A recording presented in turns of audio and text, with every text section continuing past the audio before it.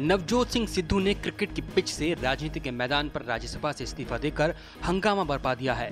लेकिन आम आदमी पार्टी के सूत्रों से खबर आ रही है कि अब पार्टी उन्हें पंजाब में अपना सीएम प्रत्याशी नहीं बनाएगी। सूत्रों के मुताबिक सीएम पद को लेकर नवजोत सिंह सिद्धू के नाम पर पार्टी में अंदरूनी कलह मच सकती है। पंजाब में भगवंत मान सिंह जैसे नेता आम आदमी पार्टी के बड़े नेताओं में शुमार किए जाते हैं। लेकिन नवजोत सिंह सिद्धू के इस्तीफे से दिल्ली के सीएम अरविंद केजरीवाल उत्साहित नज़र आ रहे हैं। सूत्रों के हवाले से खबर है कि सिद्धू आम आदमी पार्टी के पंजाब में प्रचार की कमान संभालेंगे।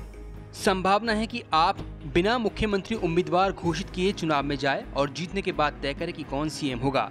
लेकिन सिद्धू परिवार में से उनकी पत्नी नवजोत कौर सिद्धू चुनाव लड़ेंगी। सिद्धू और उनकी पत्नी जल्द ही औपचारिक रूप से आम आदमी पार्टी में शामिल होंगे।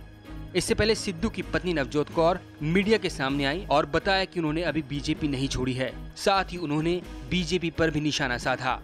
people like us are not into politics as a profession. It was never a profession. It was about serving Punjab. And ਜੇ ਕਹੋਗੇ ਕਿ ਪੰਜਾਬ ਛੱਡ ਕੇ ਕਿਤੇ ਹੋਰ ਕੰਮ ਕਰ ਲਓ against your moral this thing so it doesn't work so enough chance BJP ਨੂੰ ਸੀਗਾ ਕਿ uh, ਅੱਗੇ ਲਗਾ ਕੇ ਸਿੱਧੂ ਨੂੰ ਕਰ ਸਕਦਾ so it's nothing if they thought that he doesn't deserve it or he's not uh, such a kind of a person who can do something for BJP in Punjab uh, so good enough ਉਹਦੀ decision ਹੈ वहीं cabinet मंत्री हरसिमरत कौर ने पलटवार करते हुए नवजोत सिंह सिद्धू को अवसरवादी बताया है। एक साल पहले इसी केजरीवाल को ड्रामेबाज पलटीबाज क्या क्या नहीं बोलते थे।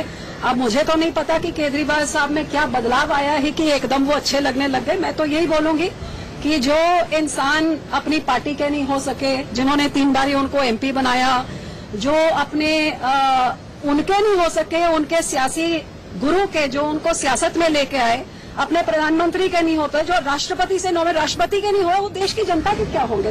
राजनीतिक विश्लेषकों और अलग अलग चर्चाओं में अब तक ये बात कही जा रही है कि सूबे में आम आदमी पार्टी को लेकर माहौल अच्छा है।